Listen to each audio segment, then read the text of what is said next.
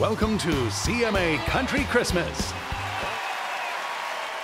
My wife is not a procrastinator. She likes to jump on the decorating. So we've already got our trees and lights up.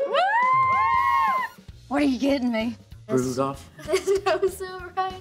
Won't oh, you let my sleigh tonight? That's the thing that, that I feel the most at Christmas time. Gratitude for my family and friends. I have like a really small bedroom and really big furniture. I still somehow managed to put a Christmas tree in there.